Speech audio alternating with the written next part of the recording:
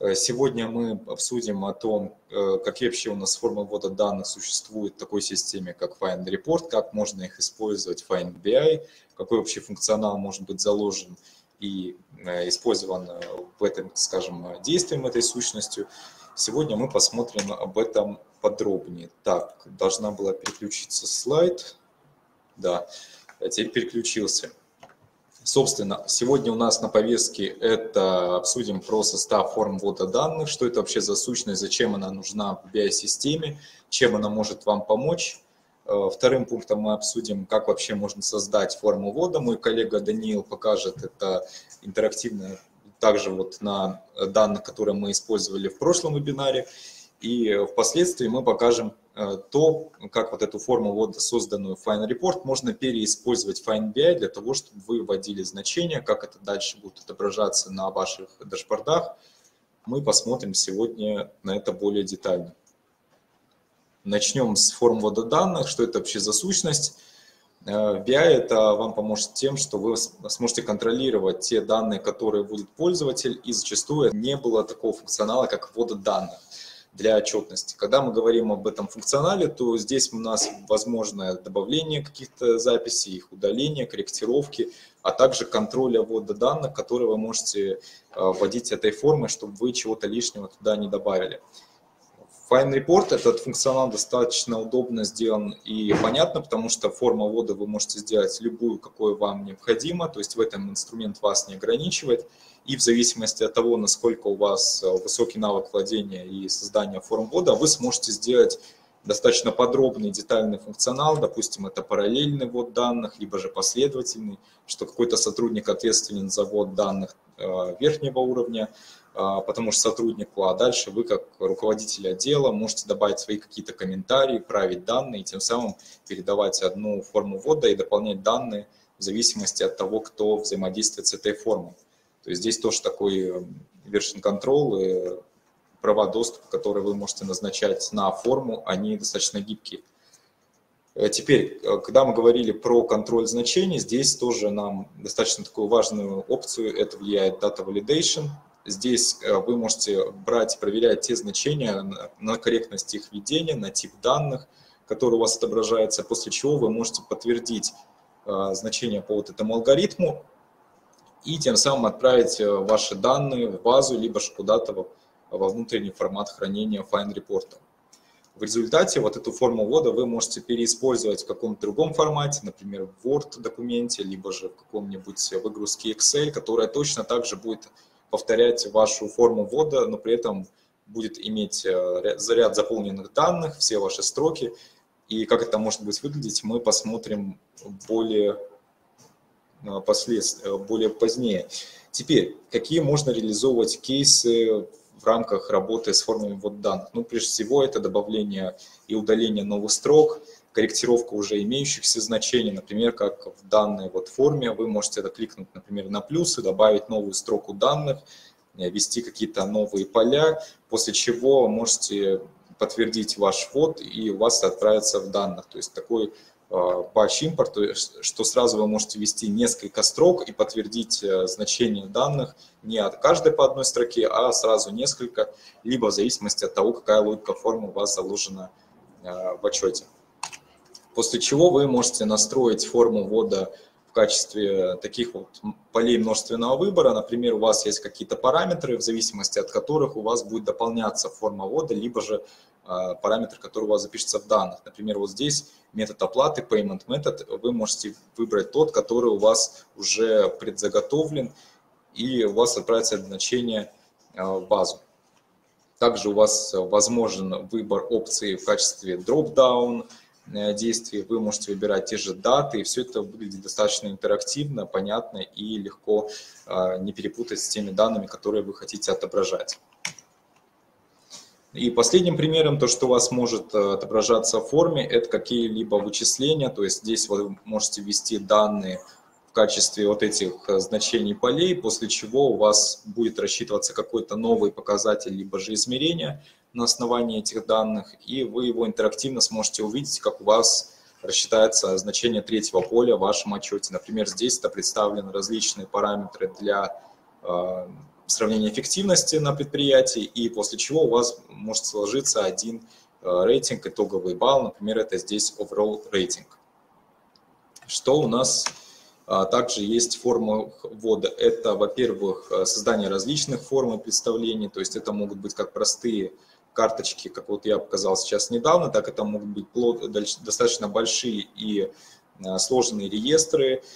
Э, это же опять последовательный параллельный ввод данных, что часть пользователей будет видеть только конкретные элементы, а остальные пользователи в зависимости от присвоенных прав будут взаимодействовать со всеми элементами формы ввода и смогут контролировать, даже удалять записи из базы.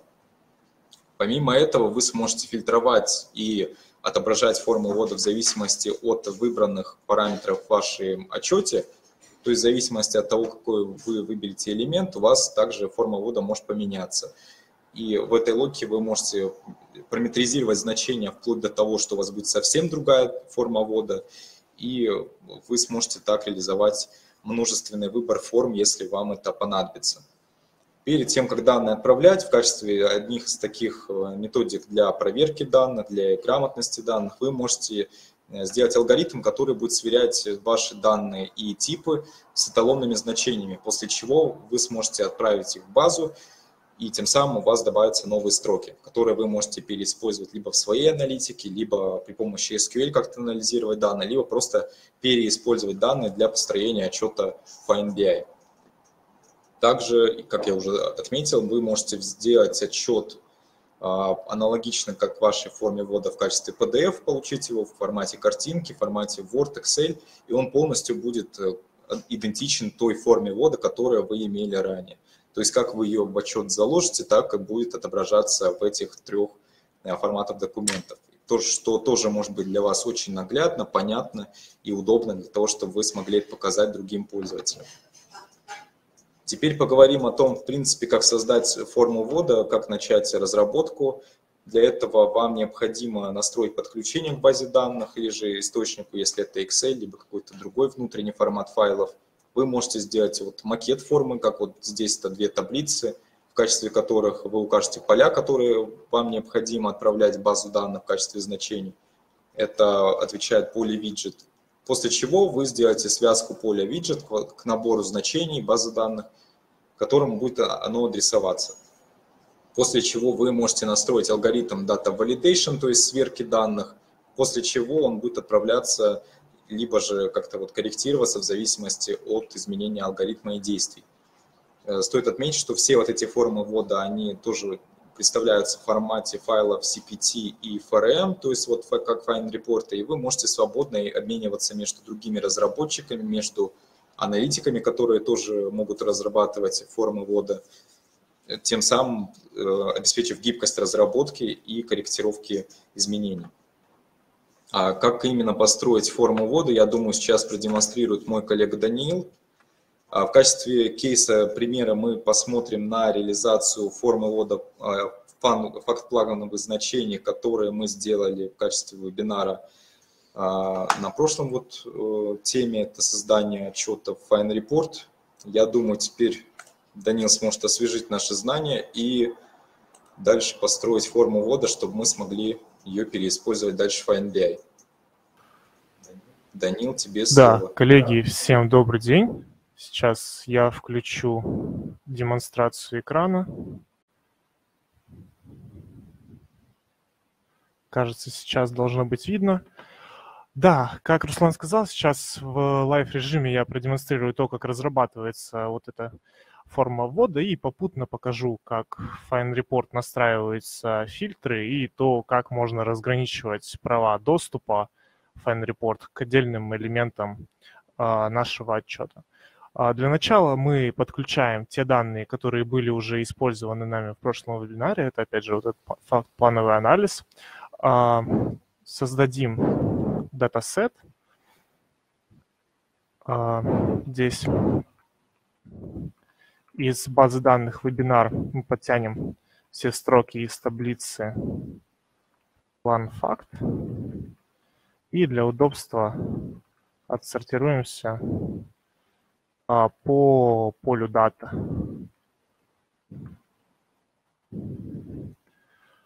А, посмотрим.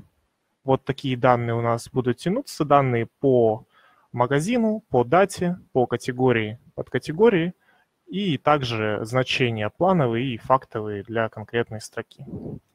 А, нажимаем ОК, видим, что у нас создался датасет наш. И давайте для начала а, разработаем детальную таблицу, где мы можем видеть все данные, которые у нас уже есть, и динамически отслеживать то, какие данные у нас добавляются.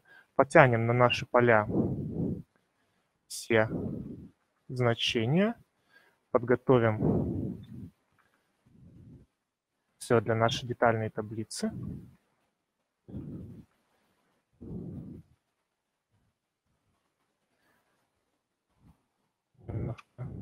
Сделаем пошире некоторые поля, которые требуют больше места. И заголовок у нас будет детальная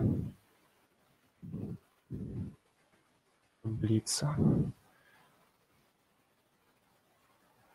Все выровняем, выровняем по центру. Сделаем границы таблицы. Заголовок покрупнее. Где-то 14. И зададим background color какой-нибудь такой. Так, детальная таблица у нас готова. Предлагаю сразу же продолжить и добавить две а, небольших вот таких форм ввода на наш отчет. А, для начала добавим а, форму для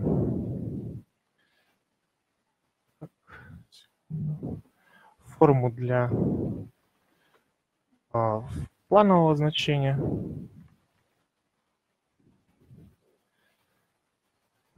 Здесь у нас будут данные такие. Равняем все по центру, жирным чуть подкрупнее оформляем наши таблицы, оформляем наши плашки для форм ввода, чтобы это все смотрелось более наглядно. А, смотрите, получается, мы подготовили вот такой заготовок для формы ввода, и вот в эти ячейки, которые находятся под названиями полей, нам нужно добавить виджеты, то есть это те элементы, с которых впоследствии мы будем тянуть банные данные и добавлять их в базу данных. А, для магазина мы будем использовать выпадающий список Dropdown Box а, со следующими данными. Из базы данных вебинар, таблицы план факт и информация о магазине. Для даты у нас будет выбран виджет Date. Для категории у нас будет выбран опять же Dropdown Box с данными о категории из таблицы план факт отображаться у нас будет категория. А для подкатегории также у нас будет выпадающий список с одним лишь отличием, что подкатегория у нас зависит от категории, поэтому мы здесь впишем следующую формулу, а, где мы будем а, выбирать категорию, что категория будет равна значению, которое у нас записывается как раз-таки в предыдущей ячейке C3. Таким образом мы обеспечим вот эту необходимую нам зависимость. Нажимаем ОК. И для плана у нас будет использоваться числовое поле.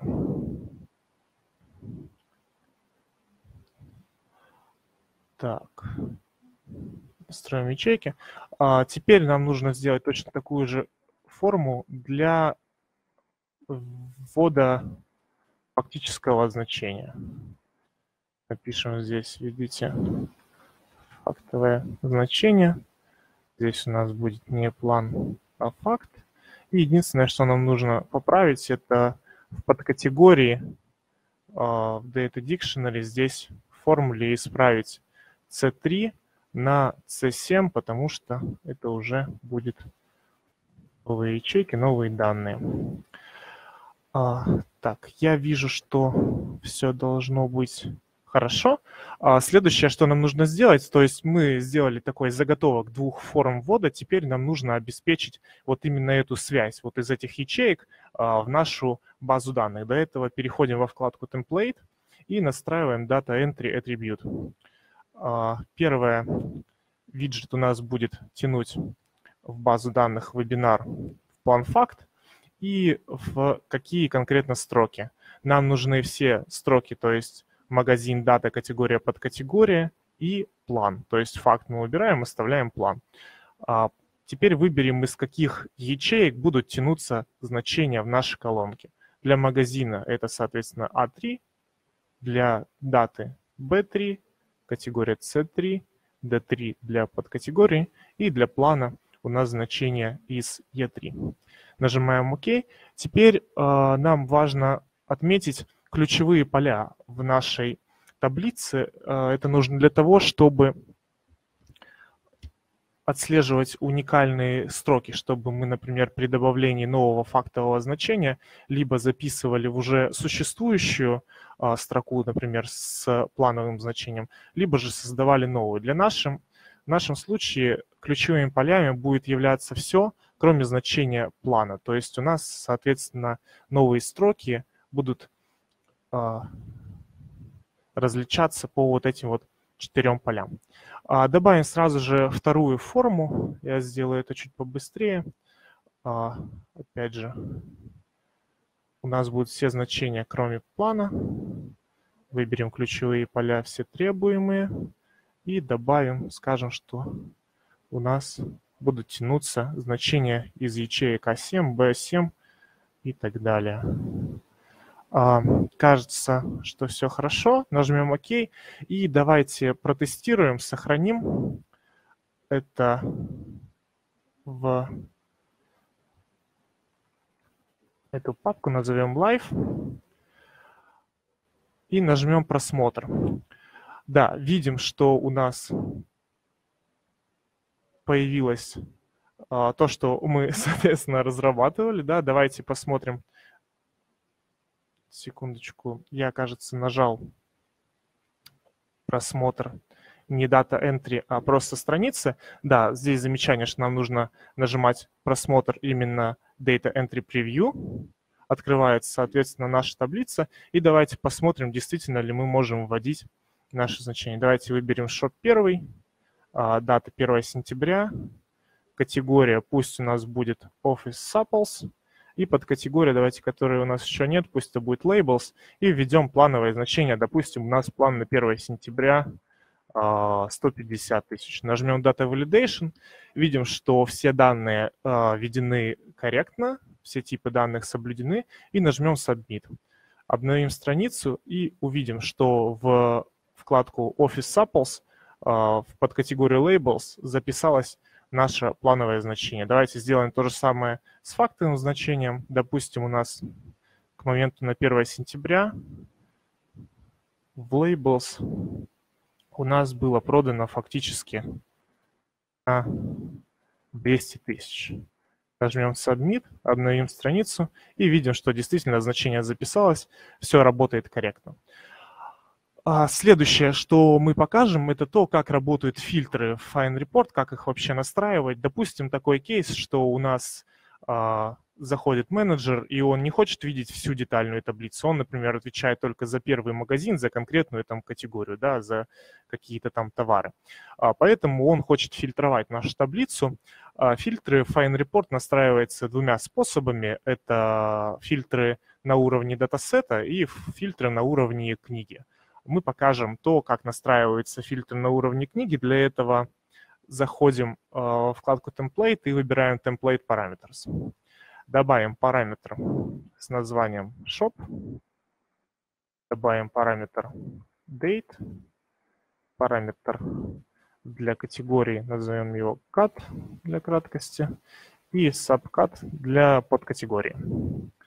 Нажимаем ОК. И теперь давайте добавим эти наши фильтры на наш отчет.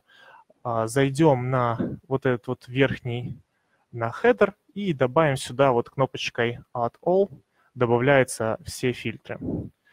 А, настроим виджеты, то есть shop у нас будет выпадающим списком, дата у нас будет, соответственно, датой, категория выпадающий список и под категорией тоже выпадающий список. И сейчас опять же нам нужно настроить Data Dictionary точно так же, как мы делали а, в, таб в таблице, в формах ввода. У нас будут данные для магазина тянуться из таблицы PlanFact Shop. Date у нас а, по умолчанию, чтобы не высвечивалось никакое поле, мы зададим widget value формулой как пустую строку. Это нужно для того, чтобы не заставлять пользователя, который входит, обязательным образом вводить какое-то значение, что может быть здесь и пустая строка. А для категории мы подтянем данные, опять же, с нашей таблицы для вкладки «Категория». И для подкатегории мы, соблюдая вот эту иерархию категория-подкатегория, добавим следующую формулу только вместо ячейки C3 у нас уже будет а, значение параметра категория. А, проверяем, формула рабочая, все хорошо. Нажимаем ОК. И вот эту кнопочку подвинем вправо. Назовем ее «Обновить». Так, кажется, все хорошо. Переходим на редактирование книги. И следующее, что нам нужно сделать, чтобы вот эти вот параметры, которые мы добавили а, в нашу книгу, чтобы они подействовали конкретно на а, те визуализации или на ту таблицу, которую мы сделали. А, заходим, дабл-кликаем по ячейке, которую нужно фильтровать, а, и говорим, что давайте для вкладки Shop будем фильтровать следующей формулой.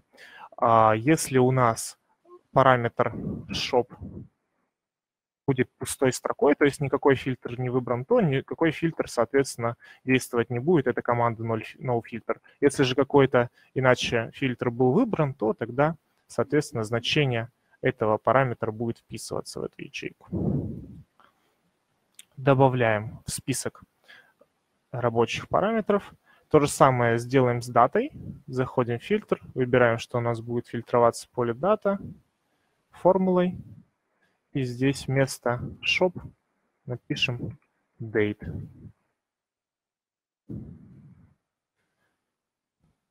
Проверяем, все хорошо, добавляем. Теперь также поступим для категории. Категория у нас будет фильтроваться формулой. Параметр для категории у нас был назван cut. Добавим.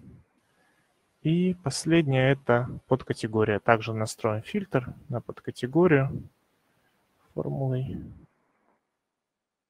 sub категория.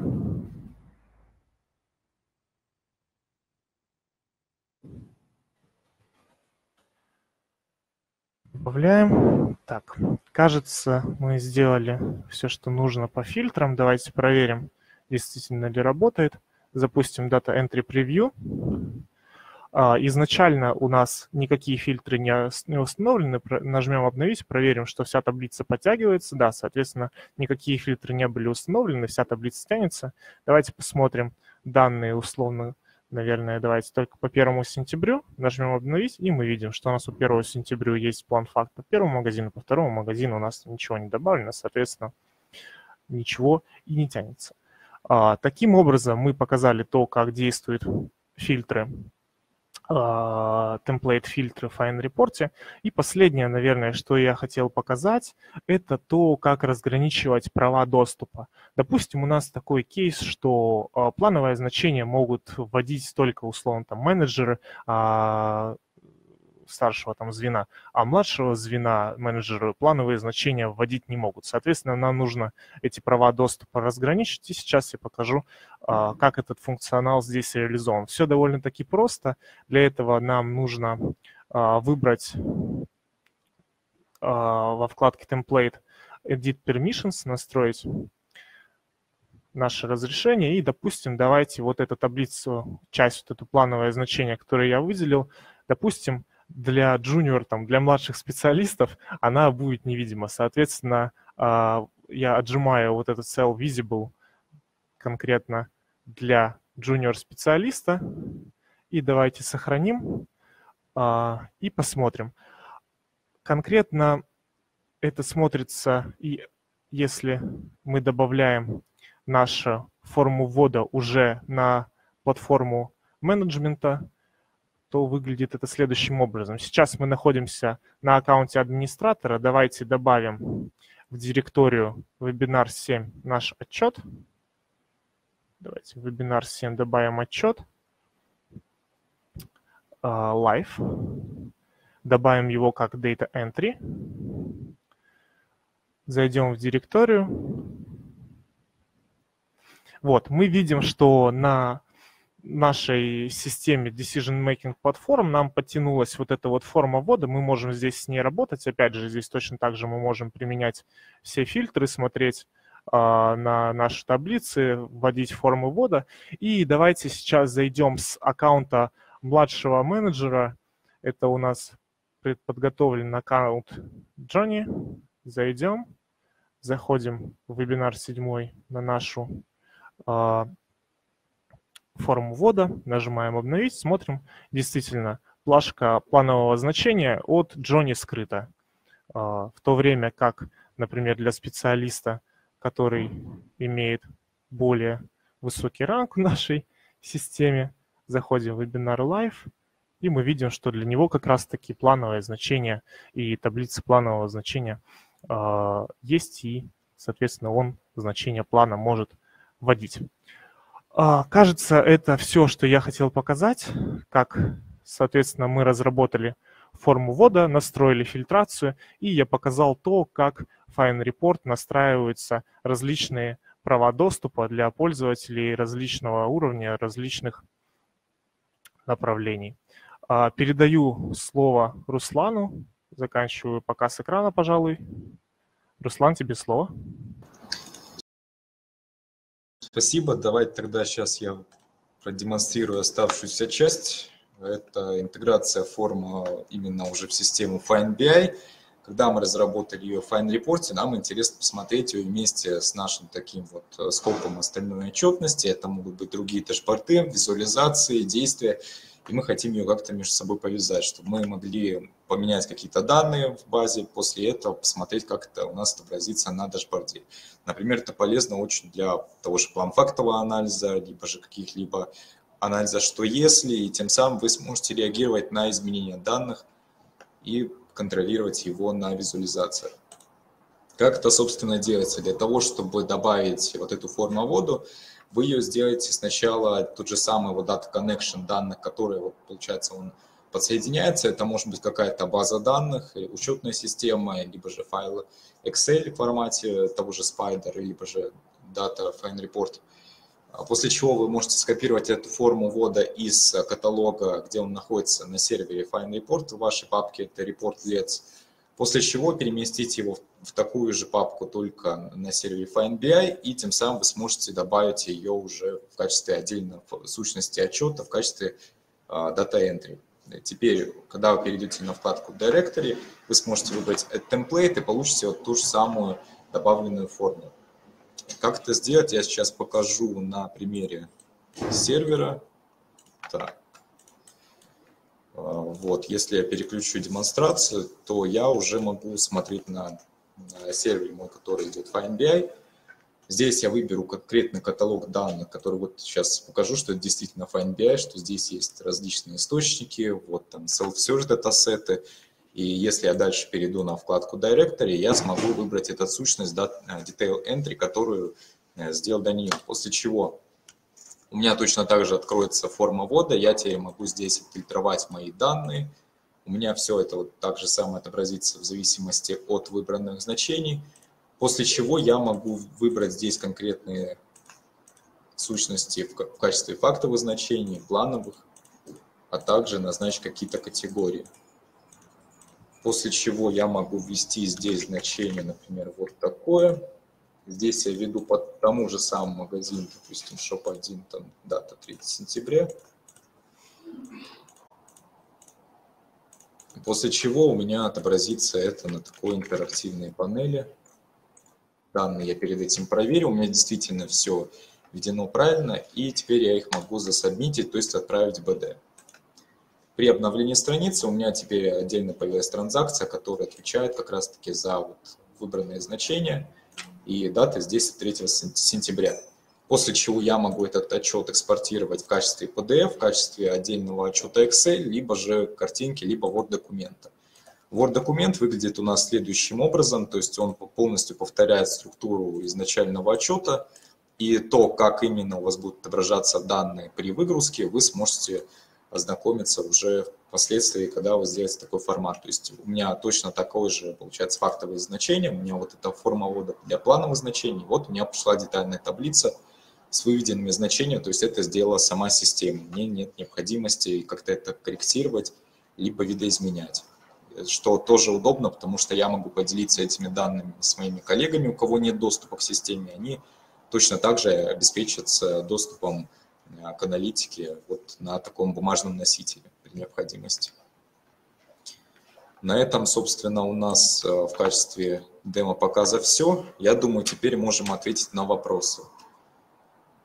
Вот. Теперь я вижу такой интересный вопрос, зачем, собственно, нужен такой продукт Fine Report, зачем нужны формы ввода, если у нас есть уже какая-то система KISS, либо же исходные системы, такие же, например, как SAP. Э, в чем удобство э, этой системы, что здесь вы можете вне зависимости от, э, скажем, принадлежности к вашему IT-отделу, которая зачастую ответственен за ведение всех этих систем, взять и как-то повлиять на конкретную таблицу, которая будет э, адресована только для проведения анализа. То есть вы как аналитик имеете свою какую-то небольшую табличку, которая вы сможете сделать вот те же самые формы ввода, вы сможете проводить аналитику данных, вы можете контролировать отображение значений. Тем самым вам не обязательно брать и как-то э, просить это все у тех же самых IT-служб, чтобы они вам настроили эти шапки, какие-то отчеты в SAP, которые тоже долго и сложно сопровождать, а вы это сможете сделать сами, своими силами, э, более-менее с такими небольшими трудзатратами. Вот. А в Word-документе можно добавлять шапку отчета и, например, куда-то а, в качестве детализации отображения дат отчета на последнее число, либо же какие-то еще дополнительные опции, но это уже отдельная тема, как это настраивается – тоже такой функционал выгрузок, он достаточно подробный и интересный. И все это идет без коробки, без каких-то дополнительных модулей. Это все доступно в системе Fine Report.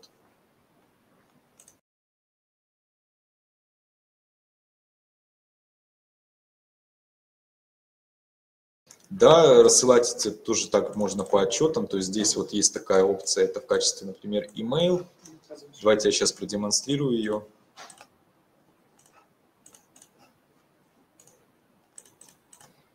То есть вот эту форму ввода и сам как бы, данные, которые у вас получились в отчете, вы точно так же можете отослать потом на почте вашим коллегам, например, нажав сюда email. Вы сможете выбрать получателей, которые у вас, э, скажем, э, принадлежат серверу FineBI. Вы сможете выбрать, кому именно на почту будут отсылаться эти отчеты. Вы сможете сделать вот здесь теле письма, написать, что это конкретно за отчет, и как-то добавить туда детализацию, что будете подсоединять, например, картинку, либо еще какие-то данные. Так, по видам лицензии здесь точно такие же, как э, для системы FineBI, это Developer и Viewer. Но для того, чтобы работать с системой в качестве создания форм ввода, вам понадобится лицензия Developer. Отдельно за, скажем так, э, прайсом, сколько это стоит, можете обратиться на нашу почту, это infosobakabioconsult.ru. Коллеги вам более подробно расскажут о лицензировании этого продукта, различных вариантах его приобретения. А здесь вот, да, есть такая, скажем, защита от дурака. Если мы введем строку два раза, у вас она будет просить, скажем, какой-то уникальный идентификатор по строкам, который вы будете вбивать новые значения. Например, если сейчас вот ввести какие-то данные, здесь то же самое, вот по тому же магазину, который у меня уже заведен, давайте сейчас выберу другой,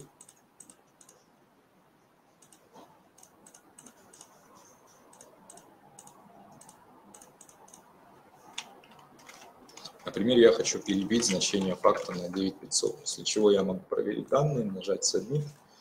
Здесь обновить, и видите, у меня точно так же вот по этим уникальным идентификаторам магазин, категория, подкатегория и дата, у меня поменялось, правило значение факта. это может лечиться таким образом, что вы создадите какой-то другой уникальный идентификатор, который будет добавляться каждый раз при создании новых транзакций. То есть у вас это тоже можно на уровне данных править, это не просто будет какой-то а, хаос-анархия с тем, что у вас пользователи постоянно спамят э, данными в БД и дополнительную нагрузку создаст. Вы сможете это контролировать и прописывать по конкретным алгоритмам, условиям и, скажем, более детально это как-то отображать. Ну и в целом пока вот отмечу, что тот же самый кейс, когда мы хотим добавлять значение а, в запись, это можно учесть в качестве разработки формы ввода. Вы можете прописать, что в алгоритме у вас будет не меняться значение, которое вот текущее, как я вот сейчас показал этапом ранее, а у вас будет оно добавляться к сумме или в качестве какого-то другого э, значения будет вычисляться в зависимости от выбранных критериев. То есть если бы я, допустим, выбрал здесь отдельно furniture и вот сделал дашборд обновить, у меня бы появилась, допустим, какая-нибудь другая форма ввода.